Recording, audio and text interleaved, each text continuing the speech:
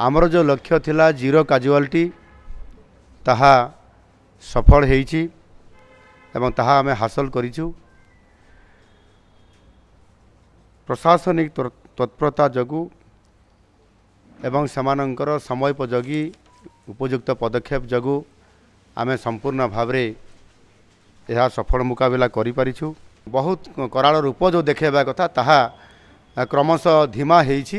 ଏବଂ ବର୍ତ୍ତମାନ ବର୍ଷା ହେଉଛି ଆପଣଙ୍କର ଭଦ୍ରକରେ ବର୍ଷା ହେଉଛି ବାଲେଶ୍ୱରରେ ବର୍ଷା ହେଉଛି ମୟୂରଭଞ୍ଜରେ ବି ବର୍ଷା ହେଉଛି ଏବଂ ଏହା ଧୀରେ ଧୀରେ ଯେହେତୁ ଢେଙ୍କାନାଳ ଆଡ଼କୁ ଯିବା ପାଇଁ ମୁହଁଉଛି ସେ ଦୃଷ୍ଟିକୋଣରୁ ତାହା ଧୀରେ ଧୀରେ ଦୁର୍ବଳ ହେଉଛି ଏବଂ ସମ୍ପୂର୍ଣ୍ଣ ଭାବରେ ଆମର ଆ, ପ୍ରଶାସନିକ ଟିମ୍ ମଧ୍ୟ ସମସ୍ତେ ସଜାଗ ହେଇ ଏବେ ତାଙ୍କର ରେସ୍କ୍ୟୁ ଅପରେସନ୍ କାମକୁ ସବୁ ବିଭାଗର ତ୍ୱରାନ୍ୱିତ କରୁଛନ୍ତି ଓ ମା ଗୃହରେ ଯେଉଁ ସ୍ଥାନାନ୍ତରିତ ହୋଇଥିବା ଗର୍ଭବତୀ ମହିଳାମାନେ ସୁରକ୍ଷିତ ଅବସ୍ଥାରେ ଅଛନ୍ତି ଏବଂ ସେମାନଙ୍କ ଭିତରୁ ଷୋହଳଶହରୁ ଅଧିକ ମାଆମାନେ ମଧ୍ୟ ସେଠି ନବଜାତ ଶିଶୁଙ୍କୁ ମଧ୍ୟ ଜନ୍ମ ଦେଇଛନ୍ତି ଏବଂ ଉଭୟ ମା ଏବଂ ଶିଶୁମାନେ ମଧ୍ୟ ସୁସ୍ଥ ଅଛନ୍ତି।